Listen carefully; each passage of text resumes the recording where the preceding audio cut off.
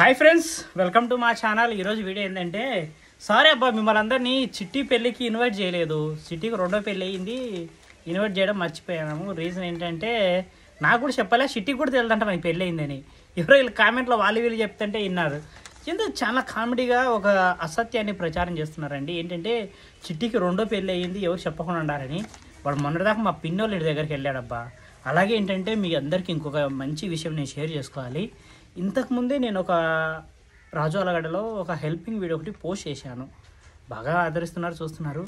అందులో ఒక చిన్న కామెంట్ వచ్చింది. ఏంటంటే అన్న నువ్వు చిట్టికి హెల్ప్ చేయొచ్చు కదా అంటే ఒకవేళ నేను చిట్టికి హెల్ప్ చేశానే అనుకోండి అది నేను మీకు చెప్పుకుంటానా? పోనీ మీకు కనపడట్లేదని నేనే హెల్ప్ చేయట్లేదు అని అనుకుంటున్నారా? వాడికి ఏ అవసరం వచ్చినా కూడా ఫస్ట్ ఫోన్ చేసేది మెసేజ్ చేసేది నాకు. వాడు అడిగిన ప్రతిసారి వాడికి డబ్బులు ఇస్తున్నా నాగేంద్ర ఉన్నన్ని రోజులు ఎన్నోసార్లు నాగేంద్రే చెప్పింది. మా బావ నాకు అన్నీ చూసుకుంటాడు సక్రమ హాస్పిటల్ కాంచి అని మీరు ఎలా అంటారు అట్లా? అంటే చిట్టికి చెప్పొచ్చు కదా అని. సో ఏదో గొప్ప మీ ఆనందం ఇది. ఈరోజు ఏంటంటే నా దగ్గర ఒక రెండు బాండకాయతలు ఉన్నాయండి. ఈ రెండు ఏంటంటే చూస్తున్నారా? పేరు ఓహో ఈ జమ్మది ఒకటి రివర్సల్ తిరిగి వచ్చింటే అది. సవరం సురేంద్ర. మా వాడు. ఎస్ సురేంద్ర అని పేరు అర్థమవుతుంది కదండి మీకు ఇక్కడ సో ఇది ఒకటి ఇది ఒక పైది ఒక ఇరవై వేలు ఇది ఒక పదహైదు వేలు. ఈ రెండు ఏంటంటే మా సురేంద్ర చేసిన అప్పులు. సో ఈ పదహైదు వేలు అయితే ఇది నా దగ్గరే తీసుకున్నాడు. ఇప్ప- ఇది అంటే నా దగ్గర కాదులేండి. మా స్వాతి ఉన్నప్పుడు రెండు వేల ఇరవై ఐదు ఐదో తేదీ అంట సో మా స్వాతి ఉన్నప్పుడు మా స్వాతి దగ్గర తీసుకున్నాడు. టూ థౌజండ్ ఆ టైంలో. సో ఇంకా డబ్బులు గిబ్బులు అయితే ఏం కట్టలేవాడు యాక్చువల్గా ఏంటంటే కనుక నేను కూడా కట్టద్దు లేరా అని చెప్పిన. ఇవన్నీ చెప్పుకోం కదండి. చూడండి. సో కింది ఒక ఇరవై వేలు ఇది ఒక పదహైదు వేలు. టూ థౌజండ్ ట్వంటీ నుంచే ఉంది అంటే ఇది. ఏంటంటే ప్రతిదీ చూపించుకోలేం కదా.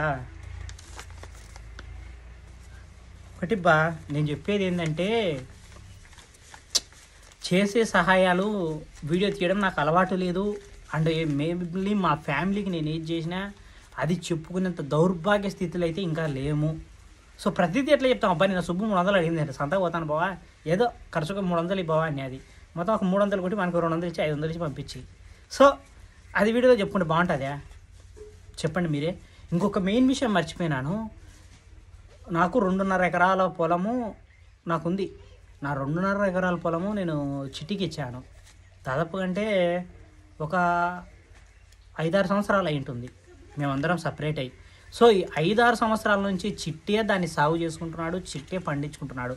ఈవెన్ వాడు వ్యవసాయం మానేసిన తర్వాత ఈ సంవత్సరం దాన్ని కౌలుకి ఇచ్చాడు దాని కౌలు మీద వచ్చే డబ్బులు నేనైతే అడగలేదండి. పొరపాటున కూడా అడగలేదు. పొర తీసుకురా చిట్టి నువ్వే లక్షణంగా నెక్స్ట్ ఇయర్ అవసరమైతే కనుక కొంచెం వీలైతే కనుక ఏదైనా పంట కూడా వేసుకుందిలే చిట్టి నేను పెట్టుబడి పెట్టిస్తాను నీతోటి అని. ఎందుకంటే యూట్యూబ్ వాడికి ఇష్టం లేదు. ఎంత బలవంతంగా చేస్తున్నట్టు నాకు అనిపిస్తుంది. అంతే అంతమించి అయితే ఏం లేదు. ఎందుకంటే ఇష్టంగా తీసి చేసుకునేది వాడు వ్యవసాయం. దాంట్లో లాస్ అయ్యాడు. ఇన్ని రోజులు నాకు తెలియదండి. ఏంటంటే ప్రతిదీ ఎక్కడ నేను మనీకి వాల్యూ ఇవ్వడం కానీ మనీ సంపాదించుకోవడం కానీ ఇట్లాంటి ఎప్పుడు చేయలే. ఏదైనా మన సాటిస్ఫాక్షన్ కోసం చేసేది కూడా కొన్ని ఉంటాయి కదా. ఇది నా సంతోషం కోసం నేను చేసుకున్నది. ఫ్యామిలీ కోసం ఫ్యామిలీ కోసం చేస్తున్నాను పిల్లల కోసం పిల్లల కోసం చేస్తున్నాను అందరి కోసం అన్నీ చేస్తున్నాము. సో ఓకే అండి. దయచేసి ఏంటంటే ఇలాంటి ఫేక్ ప్రచారాలు అయితే చేయకండి. చిట్టికి ఎలాంటి పెళ్ళి కానీ ఇంకా అలాంటి థాట్ కానీ లేదు. ఈవెన్ వాడు పెళ్ళి చేసుకుంటే మేమందరం చాలా హ్యాపీగా ఫీల్ అవుతాం. ఎందుకంటే కష్టంగా ఉంది చాలా పాపం వాళ్ళకి. ఎందుకంటే మా అమ్మ ఒకటే గేదెలు చూసుకోవాలి ఇంట్లో పనులు చూసుకోవాలి వెన్సికన్ రెడీ చేసి పంపించాలి ఇలాంటివి ఎన్నో ఉంటాయి. ఎందుకంటే అవి కళ్ళకు కనపడవు కదా. కళ్ళకు కనపడిన సమస్యలు ఎన్నో ఉంటాయి. ఎందుకంటే అది ఎవరు చెప్పుకోలేంది. సో దయచేసి ఏంటంటే ఇలాంటి ఫేక్ ప్రచారాలు అయితే చేయకండి. చిట్టికి అయితే ఇంకా పెళ్ళి కాలేదు శోభనం కాలేదు ఫస్ట్ నైట్ కాలేదు. ఓకేనా? లవ్ యూ ఆల్ ఏం ముసలిది ఏమో ఈరోజు సరిగ్గా వీడియో తీయలే. రేపు ఏదైనా మంచి వీడియో తీసి వేస్తాం ఓకేనా? అట్లాగే మన వాళ్ళు వీడియో కోసం ఎదురు చూస్తుంటారనే ఉద్దేశంతో ఏదో ఒకటి మాట్లాడేయడం తప్పింది తప్ప అంత మించి అయితే ఇంకేం లేదు.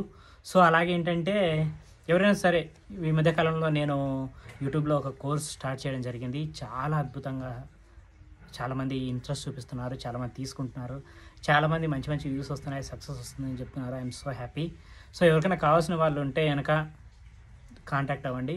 Nine three nine double one double eight double three six వాట్సాప్లో మీరు కాల్ కానీ మెసేజ్ కానీ చేసినట్లయితే యూట్యూబ్ సంబంధించినటువంటి నేను కోర్స్ ఇస్తాను. మీరు ఎలా యూట్యూబ్ చేసుకోవాలి ఎలా సక్సెస్ అవ్వాలి ఎలాంటి వీడియోస్ జనాల్లోకి తొందరగా వెళ్తాయి అండ్ యూట్యూబ్లో అప్లోడ్ చేసేటప్పుడు చాలామంది మిస్టేక్స్ చేస్తుంటారు. ఇలాంటి వాటి కోసం అంటే పాపానికి వస్తుంది. ఓకేనా?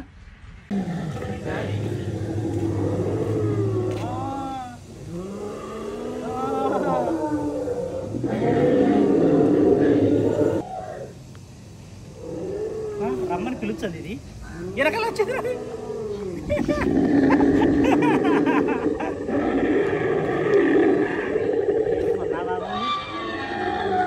పైకి పోయిన భయపడింది. ఒరే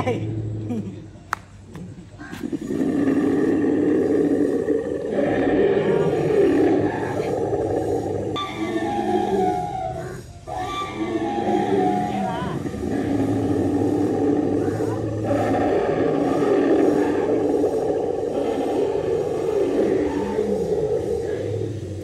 సరే ఏం కాదులే ఊకో ఎద్దుల కొండ ఏడ్చే బాగోతుంది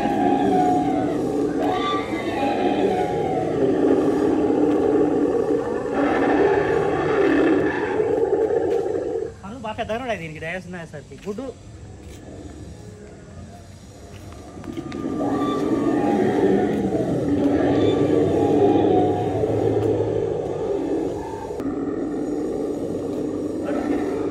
నడుచురా తొందరగా రా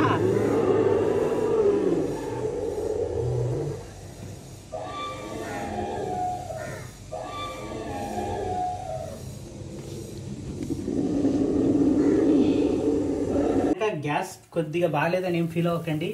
సో ఈరోజు అయితే కనుక నేను ఉప్పు చేప ఇది వచ్చేసి ఏంటంటే పప్పు చారబ్బా సో ఇక్కడ పప్పు చారుతో పాటుగా నేను కొంచెం ఉప్పు చేపను కూడా తయారు చేస్తున్నా. ఇక్కడ చూడండి ఆయిల్ బాగా కాలింది